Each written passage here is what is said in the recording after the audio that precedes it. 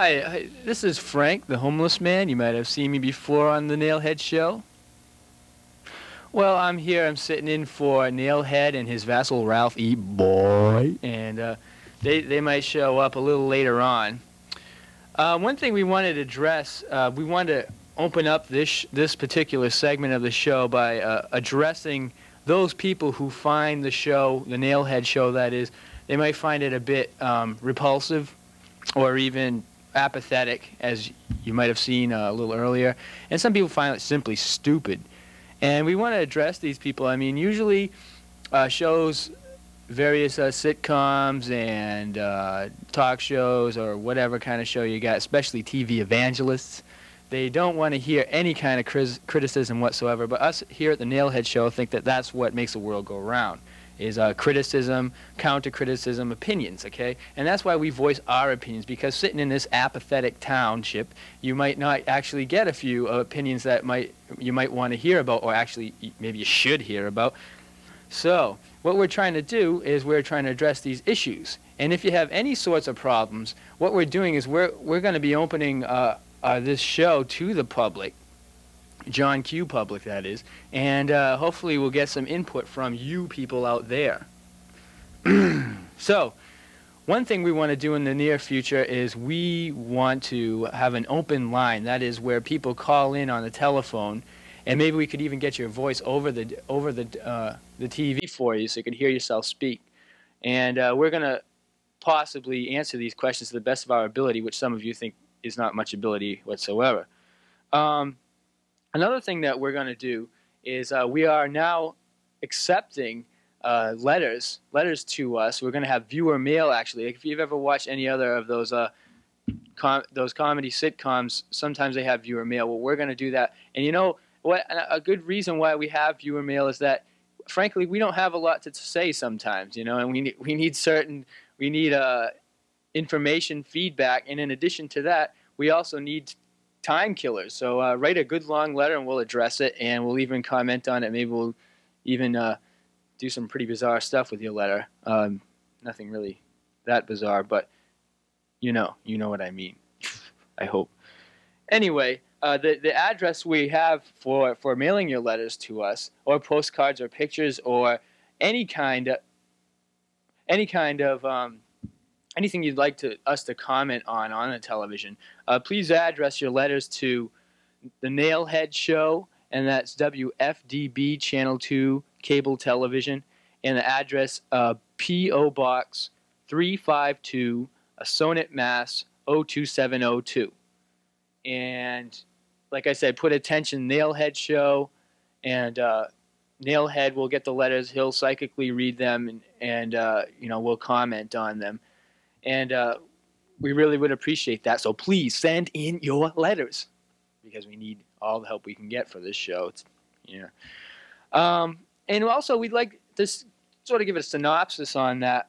we here at the Nailhead Show, we try to bring you the best in quality television. And um, if any of you are feeling really unnervy and ungrateful, and uh, you feel that you should openly criticize or slander the Nailhead Show, or even if, if you feel that our opinions don't uh, coincide with yours, or you your opinions uh, you think they're too good to be shown on this show, then change the bloody channel. Okay, there's plenty of other things you can watch on TV, and that brings me to the topic of apathy. Now, apathy is a word which means it's when we'll put this right over here first. Uh, we'll put it in front, in front of this beautiful landscape. There we go. Um, apathy is is a word that I don't know the the uh, the exact uh, explanation for it in the dictionary, but what it mainly means is that when somebody has a has a real shit attitude about something. All right, it's like when when someone, you know, like oh what a, I guess I shouldn't be saying these things, but what what what an idiot! What an idiot! Look at that guy. Anybody who has any problem with anything that's different, you know, a lot of people say, "Oh, wow, man, I should wear my CB jacket and my and and uh, you know, my hair has to be this short and uh, and and maybe I should be driving this car." And you know, the general consensus of what goes on around these townships, and uh, a lot of apathy is felt towards these people, and these people feel a lot of apathy towards anybody who does anything different. And uh, that's why you see a lot of people move out of this town. Actually, is because a lot of people get really fed up with living the same old boring lifestyle. If they try to do anything creative or entertaining, they're uh, drummed out of town. Apathy. It's a really sad thing. When you know, actually, another reason why I'm addressing this issue is, of apathy is that around around the the uh, Christmas season, you know, it's supposed to be a time of joy and rejoicing and and revelry and uh, jovial times here. But instead, what ends up happening is a lot of apathy around the holidays. People get a lot of accidents, car accidents escalate, and um, a lot of uh, tensions are felt between family and friends, between merchants and uh, and their customers. The list goes on and on. And the reason for this is that every everybody, I think it's all concentrated. It's concentrated apathy. As a matter of fact, if if uh, Stop and Shop could uh, get it into a concentrate, it would probably sell well around Christmas time along with eggnog. But uh, what, what, I don't know what the reason for this is. One thing you might notice in your households, I'm just trying to give you ideas of what apathy is. In your households around Christmas time, a lot of relatives or friends you might not have seen for a long time, they come over, and everybody's all hunky-dory, kiss-kiss, uh, you know, all friendly with these people. And as soon as they leave, someone starts talking about them. Oh, did you see this? Um, that, and then, and then, and then, and then, uh, freak me out, Frank, freak me out. You know, it's, it's really ridiculous. And then, and then as soon as you leave, you know they're talking about you too, and you take part in it too. You're like driving in the car with someone talking about Aunt B or someone. You know, Aunt B's getting awfully fat. Boy, I remember when she used to go with so and so. Blah blah blah. But I don't have an Aunt B. This is just a, a reference. But it's really sad. And um, one thing we thought we'd, we'd take out on, on the, the, the scar and apathetic streets, uh, let me rephrase that. The, the uh, crime-scarred and apathetic streets of Assonet, as we thought we'd go out and ask the people about about Christmas, but in a, a, weird sort of way. Let's see what the what the honest answer these people can give. As you've seen in the past, people don't give an honest answer, or, that, for example, the uh, the question that was posed in the second second Nailhead show about whether um, people thought it was funny to laugh at other people's misfortunes, especially uh, celebrities' misfortunes. And everybody said no, and you know that's not the case because as soon as something comes up, everybody's got a joke about it, and you hear it from everybody, even the nicest person you think you know. So, um, see, you can see the top of my head now. But um, one thing is that we want to go out in the streets, and we're going to ask people the question they're not aware of this. You understand? We're making up these questions as we go along in the studio here, and um, and um, what we're what we're going to ask these people, these unsuspecting people, is that whether it's better to give or receive or both. And we might add on to that question with um, another question such as, uh, did you feel a lot of apathy this Christmas, especially towards uh, so-called friends and, and, and family? and we're going to try and get some honest answers. And uh, we we hope to get a, a, a, wild crowd out there like we did the last time. And uh, hopefully uh, a certain man who made a very distinguished comment about uh, humor will be out there and we'll get, if you all know who, who I'm talking about, we'll, we'll get uh, another thrilling and uh, really intellectual answer back. And so what we're going to do now, we'll break. We might have, we might have a little... Um, episode of the show entertaining you before we get to the questions because I, I have a feeling this is going to be a long show. All right, well, we'll see you out in the streets. Well,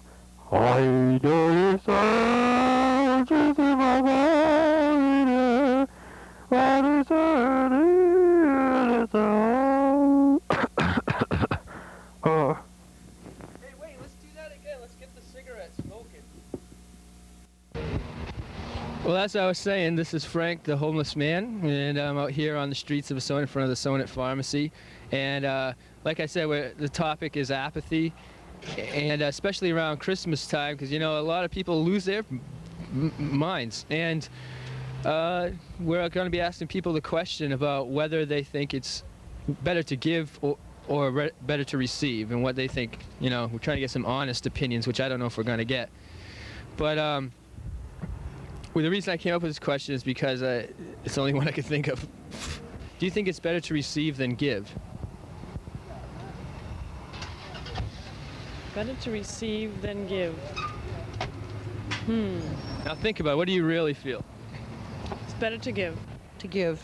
Give, definitely. And you? To give. Are, are you sure about that?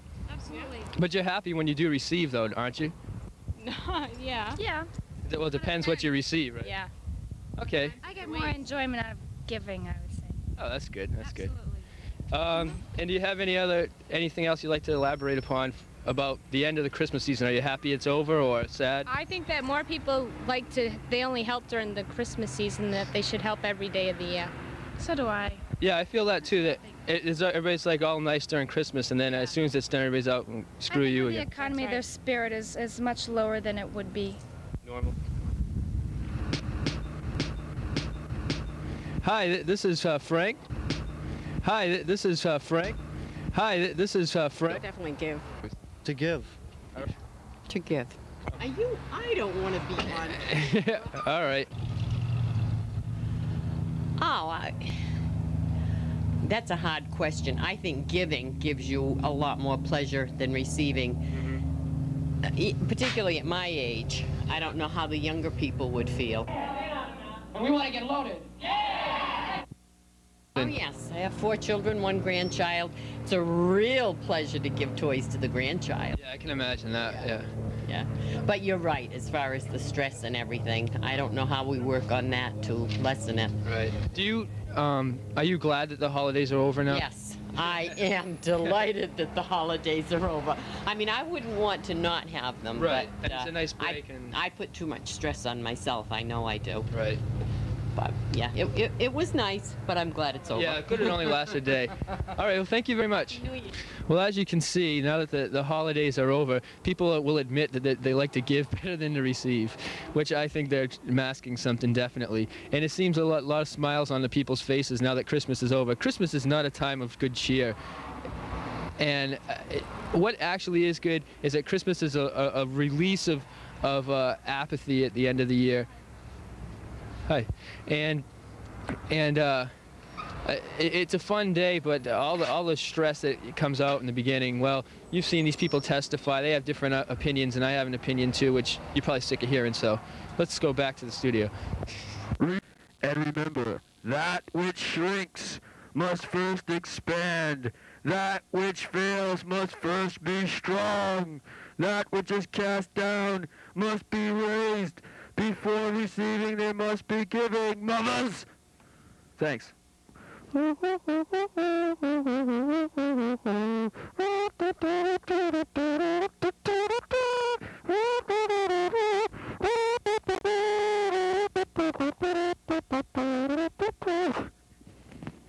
Boy. Hi, welcome to the Father of the Nailhead Show, and I'm your host, Vessel of Nailhead. And uh, Nailhead, unfortunately, this week is vacationing in Jamaica. He's, he's taking care of business there, but we have as a replacement his brother, Numbskull. And, and Numbskull will be transmitting thoughts that Nailhead normal, normally would be transmitting to me via telepathy and stuff like that. So, uh, still should be a pretty good show. And uh, on this show, we're going to have, well, the previous two segments you saw with Frank, the homeless guy. And uh, we're also going to have a reading from the Tao Te Ching by Lao Tzu. And this was written in 6th century, 6th century BC China. And uh, it, it's a very um, moving piece of work, and, and I, I like it a lot. So I'll be reading you a selection from that. And we're also going to have a velvet landscape from downtown Fall River. And uh, that's going to be nice too. That'll be a moving, scenic move, uh, moment where you can meditate with your family and get into the beauty of this wonderful black velvet painting, which is, as a matter of fact, painted by some guy named C.L.Y. Cly something. But uh, it's a very nice painting, and um, and of course we're gonna have Frank the homely man's gonna be coming on the show in a second, and uh, actually he'll be coming on the show like right now. Come on, come on now, Frankie boy. Hey, this. So, uh, How are you doing? oh, pretty good. Did you have a good Christmas? Yeah, did you? Yeah, it was all right. Oh, I brought you some gifts. Some, Oh, some nice uh, calendars for your desk, because your desk is uh, look at that. pretty empty. Ooh, Century 21. What a company. Yeah, and here's one from Pat Q Agent. Pat Q Agent, my pal. of John Q Public. Hey, look at this June 1991. What kind of cheap shit is this? It's the thought that counts. Yeah, you get the so. So, um, I also brought you a picture of our lovely staff, which later on I guess we'll get a, a close up on. Yeah, yeah. Let's see. Let's see the lovely staff. Yeah, yeah. all These people, for these people work hard behind the scenes, especially Joanne and Sandy. Pauline's a nice woman. This just the carcass order department. but, um, anyway, yeah, that's that's that's lovely. That's lovely. I'm glad you enjoyed yourself on Christmas. I did. So, so how are the streets this week? Hostile? Uh, good reception? Oh no, I think people have let off a lot of steam th- this week. Um, as you as you probably s- saw in the segment, I don't know if you've seen it yet, but they were very friendly. Yeah. Uh, they were really receptive to the question, and uh, it was a very nice day out. Yeah, it it was a beautiful day. But, well, but, but, don't, but, but don't you think that? It, what do you think about the question? You like getting gifts or buying gifts better? I like getting gifts, Yeah, except for too. like maybe a couple people. I like. I yeah, like if you give them a kick in the head, like that, that gives them pleasure. that that's definitely when it's better to give than receive. Yeah, yeah, that's true. But I like getting gifts better too. It's not just because I'm greedy. It's because we're honest. We, we do. You do too. You everyone does. Uh, what would you rather do? Give away your house or get another house? Yeah. But um, so I, I guess this is a good moment to do a little reading now that things are a little less hectic. This is a really peaceful book. So so I'm going to do a reading from the Tao Te Ching. This is chapter 46. These are words to live by. Here, let me hold up this Yeah. beautiful scape. Okay. When the Tao is present in the universe, the horses haul manure. When the Tao is absent in the universe, war horses are bred outside the city. There is no greater sin than desire. There is no greater curse than discontent. No greater misfortune than wanting something for oneself. Therefore, he who knows that enough is enough will always have enough. Thank you. That was a reading by the Lao Se Su by Tao Ching. No, the Lao Te Ching by Lao Su. That was very well put. I, I'm glad that fits the show very well. Yeah, I think it does too. Especially part about the horses manure and all that. Yeah, yeah, I don't quite get it, but it, I think it means something big. It's very profound. And uh, hey, let's review a tape. All right, what you got? I got a very typical tape nowadays. Oh, Nirvana. I mean, I'm sure you've all heard of this tape, the new Nirvana album, Nevermind. With the hit single "Smells Like Teen Spirit Deodorant." that is a good song. Um, one thing that folks out there should know is that this is not their first album. This is their second album. They have a first one called Bleach, which was is is just as good, if not better. And it's a shame that you never hear bands like this on the radio till now because it means a lot. in the- Yeah, Numbskull was saying he likes the album a lot, and it's it's it's true what Frank the Homo Man was saying. But, but um, Never mind. But never mind. Which is the name of the album, in fact, and you should. I guess you should get it because I mean it's really popular, which is always a shame to see because it ruins a lot of good bands. But all in all, it is still a solid album, even Sure though is. even though every goofball in high school likes it. Yeah, but it's about time to get into something yeah, that's decent. that's true. It's better than like in those lame bands that are out now, like uh, Poison. Poison, who broke up as a matter of fact, which we're all very uh, pretty upset about. Yeah. And uh, what else? I'm not upset about that one. Skid Row. I mean, Jesus, the guy's a clown. yeah, But, uh, boy. Okay, so uh, I don't know. Usually we, we want to get we want to get more political and get people mad in this show a little bit more, which we've been lacking to do because we're just we, we come into it unprepared. We we don't realize we have a show to do until we're actually doing it.